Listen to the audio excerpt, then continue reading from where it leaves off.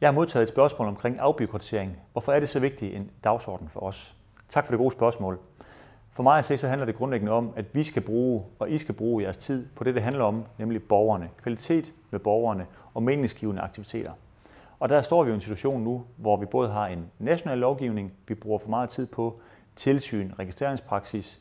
Vi har også nogle kommunale regler, som, som fylder for meget, som ikke alle sammen giver værdi. Og så har vi også en lokal praksis ude i jeres virkelighed, som er noget, der kan handle om plejer, som ikke nødvendigvis altid giver værdi.